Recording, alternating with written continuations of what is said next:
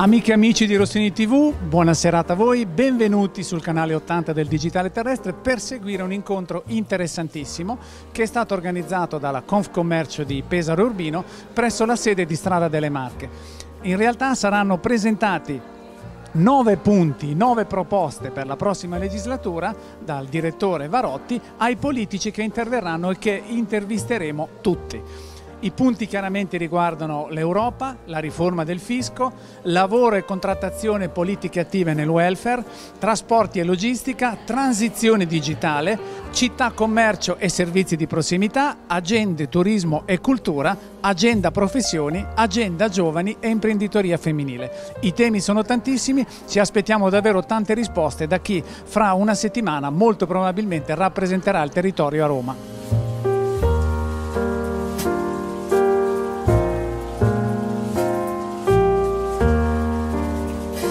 Amerigo Vanotti, siamo a sei giorni dalle elezioni, un incontro fortemente voluto da Confcommercio. Oggi saranno ospiti della vostra struttura dieci politici importanti, nomi che saranno da votare domenica. Abbiamo letto nove proposte di Confcommercio per la prossima legislatura. Sì, abbiamo scelto di incontrare i candidati tutti insieme, solo quelli della provincia di Pesaro Urbino, ben inteso, quindi non quelli che dal Veneto vengono candidati nelle Marche o da Lombardia vanno in Sicilia, ma i, diciamo, i pesaresi che saranno, diventeranno parlamentari, speriamo, e quindi trovare degli interlocutori eh, attenti alle, alla situazione provinciale e attenti anche a quelli che sono gli impegni che oggi noi gli faremo sottoscrivere perché appunto sono diversi argomenti che fanno parte del documento che presenteremo ai candidati di questi ce ne sono alcuni fondamentali per noi.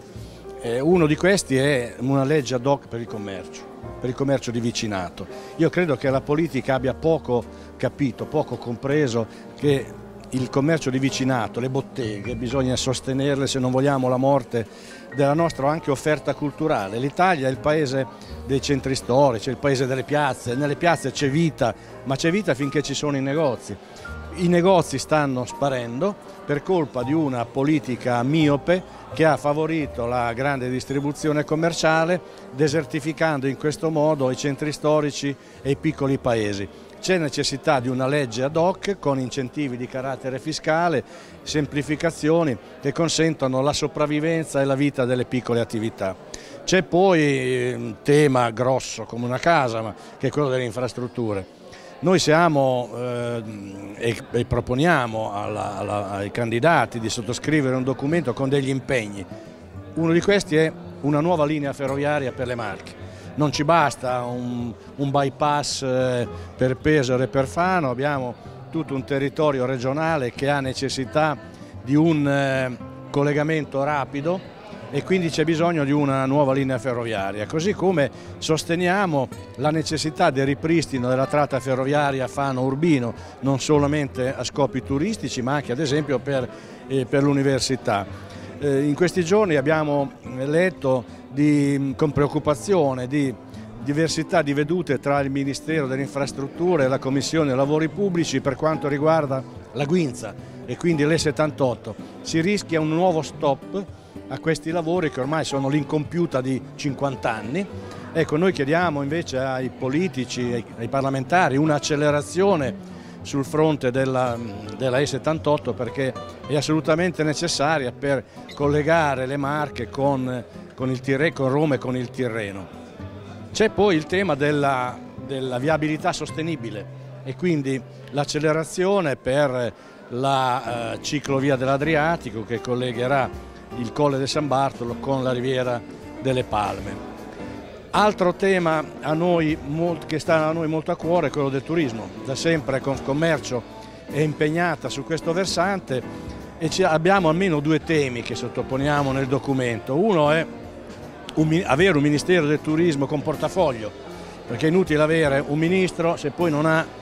soldi da spendere e, e quindi questo vuol dire riconoscere l'importanza che ha il turismo nell'economia del paese. Il turismo è per noi la leva fondamentale di sviluppo economico della nostra regione, della nostra provincia e uno dei motori di sviluppo del nostro paese. Scarso però è il riconoscimento della politica nonostante l'Italia sia il paese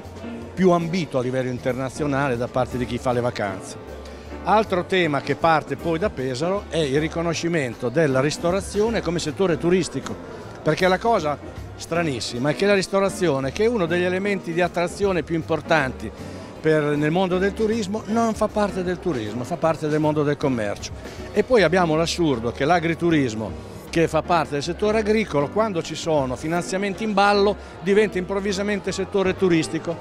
finanziamenti che non sono consentiti invece per il mondo della ristorazione. Poi l'altro tema che abbiamo vissuto anche quest'estate con preoccupazione è quello del lavoro. Su questo c'è il, il dibattito in corso nel Paese sul salario minimo. Ecco, noi crediamo che vada rafforzato il ruolo della contrattazione, però con una particolarità che noi sosteniamo e richiediamo da anni. I contratti di lavoro sottoscritti dalle organizzazioni maggiormente rappresentative devono avere validità erga omnes, cioè devono valere per tutti. Non è possibile che noi, Confcommercio, che siamo un'associazione maggiormente rappresentativa, con i sindacati maggiormente rappresentativi, firmiamo un contratto di lavoro onesto, dignitoso e poi abbiamo invece sindacati farlocchi, associazioni farlocche che fanno contratti farlocchi con salari minimi bassissimi da fame che creano quello che poi stiamo riscontrando, la carenza di personale, gente che non va a lavorare nelle aziende del turismo ma nel mondo del lavoro in genere.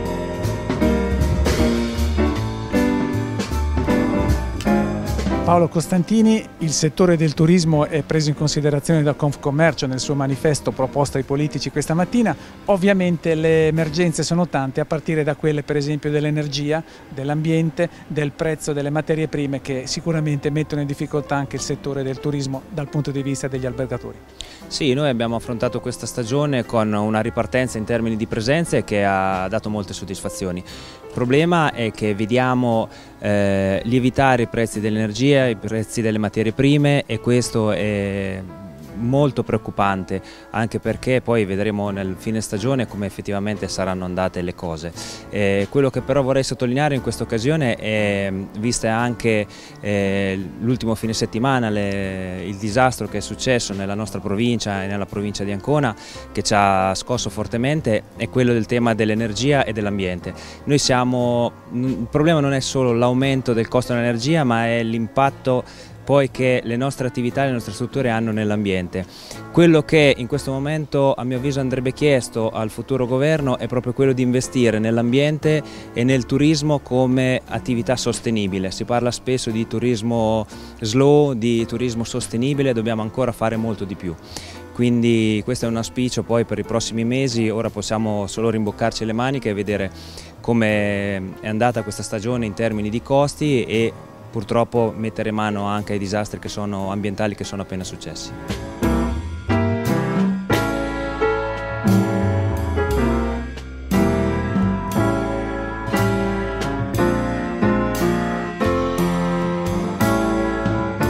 Samuela Melini, candidata per i 5 Stelle, presente anche lei ovviamente all'incontro voluto da Confcommercio per la presentazione delle richieste di Confcommercio. Nove richieste, sono tante, al di là dei nove punti illustrati dal direttore Varotti, i 5 Stelle hanno idee molto chiare su quello che vorranno fare dopo il 25 settembre. Sì, le idee sono molto chiare, perché dopo il 25 settembre eh, la volontà dei 5 Stelle, come da programma, è di partire da dove eravamo rimasti, con il Conte 1 e il Conte 2. Sappiamo che l'80 90% del nostro programma è stato realizzato e quindi dobbiamo ripartire da qui, da strutture eh, portentose come il super bonus per poi passare per il reddito di cittadinanza con le eh, giuste modifiche che dovremo fare e per arrivare poi alla spazza corrotti per garantire la legalità. Però per quanto riguarda l'incontro oggi in Conf Commercio, la cosa che ci, può, eh, ci, può, ci preme è parlare del rapporto tra il fisco e le imprese vediamo che nel programma che viene presentato vi sono molti punti in comune con il programma dei 5 Stelle,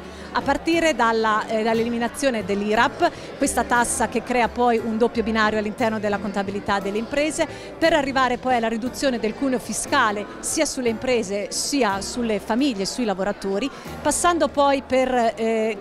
di, eh, per, per eh, fondi di garanzia dall'80 al 50% a sostegno delle imprese a cura dello Stato per garantire prestiti, mutui e liquidità alle imprese. Il, eh, il, il potenziamento della cessione del credito che deve essere poi eh, applicato non solo al super bonus ma anche a tutto il comparto ad esempio agrario. E altra cosa fondamentale che ci accomuna è poi la previsione per quanto riguarda gli autonomi, le partite IVA e i piccoli redditi di una flat tax, che non si tratta della flat tax eh, raffazzonata dal centrodestra, ma si tratta appunto di una, eh, di una flat tax eh, soltanto per i minimi, abbiamo visto soltanto per i redditi inferiori con un fatturato inferiore ai 65 mila euro, che noi come Confcommercio chiediamo di ampliare e di applicare anche ai redditi che vanno dai 65 mila euro ai 100 mila euro. Ovviamente l'aliquota sarà poi eh, bilanciata.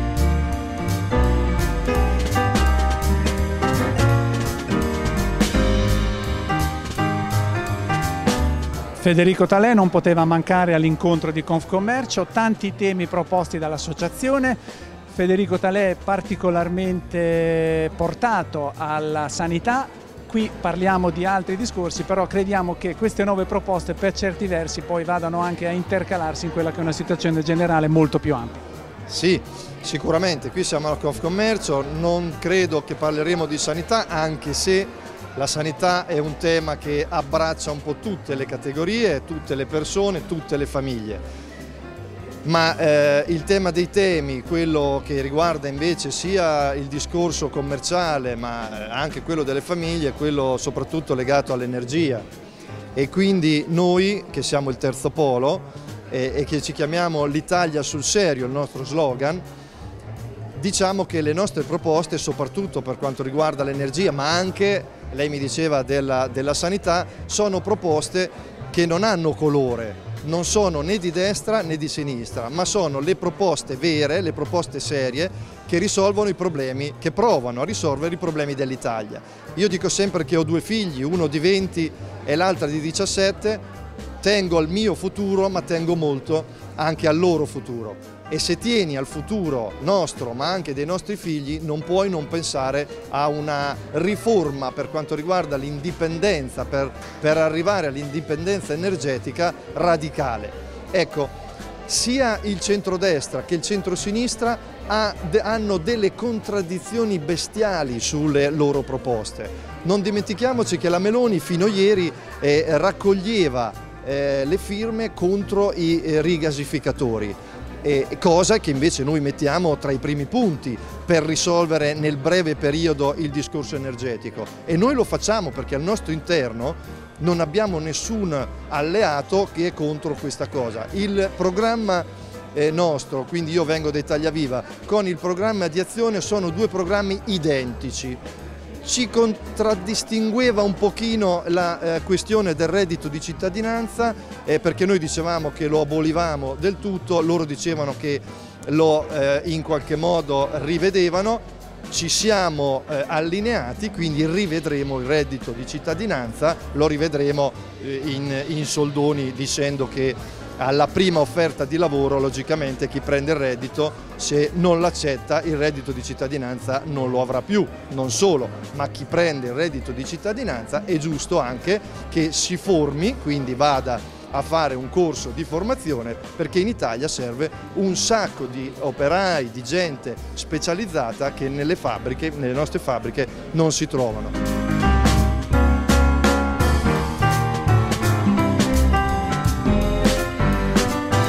Renzo Savelli, anche lui presente all'incontro voluto da Confcommercio, chiaramente è un momento molto importante per capire come la sua lista intende proporsi nel confronto delle nuove proposte di Confcommercio. Certo, io le ho lette attentamente, le ho valutate e posso dire questo, che eh, la linea di massima nostra è in questi ultimi 30 anni sono aumentate le disuguaglianze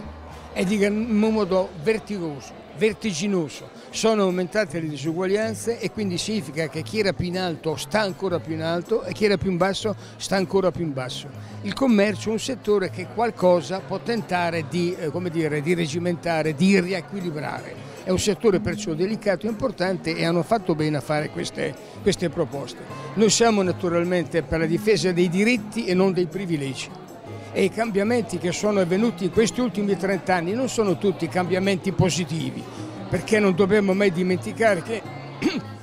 in questi ultimi 30 anni è andata avanti la finanza speculativa. È la finanza speculativa che oggi ci fa pagare il gas al prezzo che sappiamo, quando per esempio è tutti noto che l'ENI ha fatto un contratto ultradecennale con eh, la Russia che viene rispettato. E allora noi dobbiamo stroncare le mani alla finanza speculativa, non possiamo permettere che le sovranazionali decidano tutto come vogliono. Pensiamo anche nel commercio grandi, ai grandi superfici, alle grandi surface, come dicono i francesi, e quanti eh, dire, hanno messo in crisi anche il settore commerciale di prossimità, quello che è l'unico che resta, soprattutto nell'entroterra, dei piccoli centri. E allora che qui la desertificazione che hanno portato avanti, perché lo sappiamo che l'hanno fatto, le banche e le poste, no? nei piccoli centri chiusi tutti, chiuso tutto. Perché dovrebbero restare lì?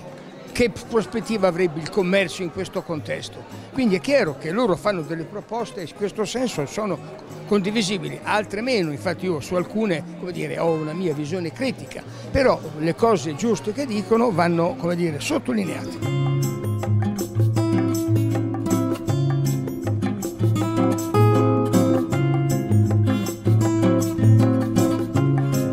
Giulia Marchionni, pesarese puro sangue, candidata con il centrodestra nella, li nella lista Noi Moderati, è una investitura importante e Confcommercio oggi propone nove punti che dovrebbero essere presi in esame, crediamo, da ogni gruppo politico. Sì, la lista Noi Moderati ha aderito con grande convinzione a questo manifesto che è il vero manifesto per la ripartenza dell'Italia, perché ci siamo resi conto e credo insomma, sia sotto gli occhi di tutti che la nazione è fatta delle piccole e medie imprese che costellano il territorio. Uh, nelle Marche abbiamo la grande fortuna di avere tante eccellenze. Nella provincia di Pesaro queste eccellenze sono concentrate e sono davvero di, uh, di altissima qualità. Uh, di, dei tanti punti nel, nel, manifesto io credo che l'attenzione che vada posta nei confronti delle aree interne, vero cardine e cuore delle piccole e medie imprese italiane e vera dorsale dell'economia da cui ripartire eh, sia il, il, punto fondamentale. Eh, noi non ci dimentichiamo anche di quello che è successo pochi giorni fa e di come davvero a pagare il prezzo di questo terribile dramma siano state soprattutto le piccole e medie imprese. Crediamo sia estremamente importante potersi rimettere in piedi, perché se chiudono le piccole e medie imprese del nostro territorio eh, finisce davvero l'economia. Eh, c'è qualcuno che dice il rischio anche con il caro energia è che chiudano più imprese di quelle che hanno chiuso durante il lockdown. Questo non lo possiamo permettere e anzi abbiamo chiesto agli alleati di centrodestra di condividere la proposta portata avanti dal Presidente Toti di impegnare subito le risorse eh, del piano 21-27, le, le risorse europee, per poter abbattere immediatamente quello che è il grande dramma delle aziende, riuscire a pagare i costi dell'energia. Una volta eh, riuscito a, diciamo, ad arginare questo grande dramma siamo pronti a rilanciare il Paese attraverso tante idee che possano davvero portare anche le aree interne, vero cuore pulsante del nostro Paese, a tornare ad essere eh, la casa per tanti giovani. Perché se noi riusciamo a portare i servizi, se noi riusciamo a portare anche la capacità di accogliere le nuove famiglie saremo in grado di dare nuova vita a territori che altrimenti rischiano di morire.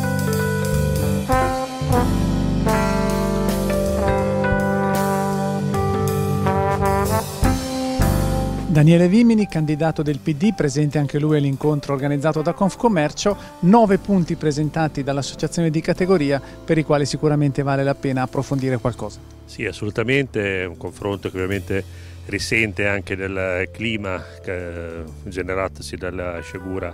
del weekend scorso nella provincia di Pesaro e nella provincia di Ancona e penso che sia importante tenere fuori questo tema dalla campagna elettorale o almeno dallo scontro politico anche se poi è un grande tema politico l'ambiente la cura del territorio anche per l'immediato futuro e allo stesso tempo confrontarsi oggi sulle soluzioni per l'economia a partire dal turismo che è uno dei temi principali che ci vede legati anche territorialmente all'azione di Confcommercio. Eh, molte le proposte naturalmente sicuramente credo che bisogna, bisogna concentrarsi in questo momento su come uscire prima e meglio dalla crisi economica che si sta paventando anche con l'aumento dei prezzi, l'inflazione e i costi dell'energia per le famiglie e per le imprese e, e, il primo punto debba essere quello di ripartire dal potere d'acquisto, quindi interventi sulla busta paga, sul salario minimo, su contratti nazionali che siano veri contratti nazionali e non 600 scappatoie per costruire precariato per i lavoratori, in modo che si possa poi anche eh, fare ripartire i consumi, quindi dare più salute alle imprese, anche le piccole imprese, piccole e medie imprese, attività artigianali e commerciali del nostro, del nostro territorio. Questo all'essenza, con un focus specifico anche sul turismo del nostro territorio che ha bisogno di investimenti regionali e nazionali, soprattutto per la riqualificazione delle strutture alberghiere, perché poi è uno dei biglietti a visita più importanti che dobbiamo spenderci anche verso la capitale italiana della cultura 2024.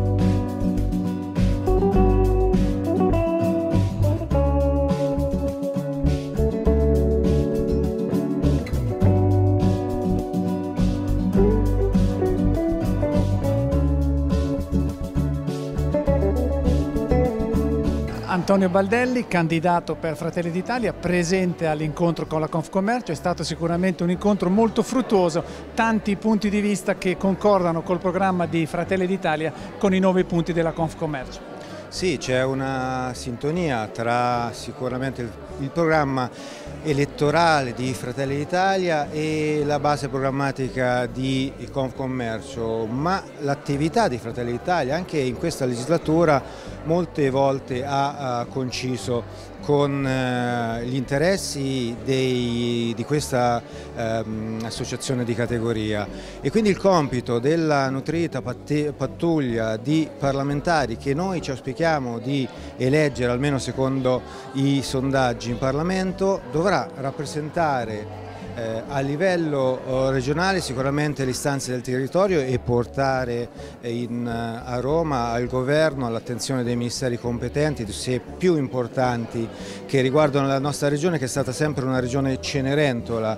mm, forse, i, forse perché non mai adeguatamente eh, rappresentata. Penso ad esempio che in questa legislatura le Marche hanno avuto anche un sottosegretario allo sviluppo economico, eppure io ma insieme a me molti altri cittadini non ricordano alcuna attività degna di nota da parte eh, di questo esponente di governo. Quindi Oggi ancor più l'esigenza di sottoporre al Ministro dell'Infrastruttura ad esempio l'arretramento eh, della linea ferroviaria adriatica, la, eh, lo sblocco veloce, già la Regione ha fatto la sua parte eh, della Guinza e della Fano Grosseto, la, il finanziamento del master plan delle infrastrutture realizzato per la prima volta in oltre 40 anni di amministrazioni regionali, realizzato prima volta dalla Giunta Acquaroli Paroli che disegna nella nostra regione una rete di intervallive pedemontane che eh, rendono finalmente moderna e renderanno finalmente moderna la nostra regione. Purtroppo noi ereditiamo 30 anni di governi di sinistra che hanno, secondo l'Europa e non secondo Fratelli d'Italia, eh, fatto scivolare la regione Marche fra le eh, regioni in transizione. Cosa significa? Che la regione Marche non ha più un moto propulsivo ma si è accodata ormai ai vagoni fermi delle altre regioni purtroppo del sud, delle altre regioni sottosviluppate. Quindi per questo è ancora più importante risollevare l'Italia e con l'Italia risollevare anche le Marche.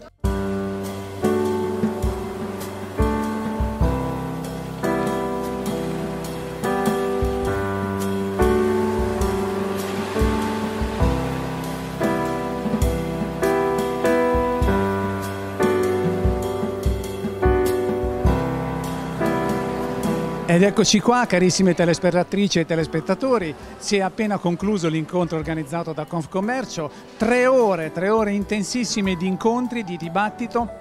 di presentazioni, di tantissime promesse, di tantissime proposte concrete. Noi abbiamo seguito tutto per voi, crediamo che sia stato davvero uno spaccato molto interessante che magari ci potrà anche dare delle idee in vista delle elezioni di domenica. Ringraziamo Davide Pagnini per la parte tecnica e ancora buona serata a tutti.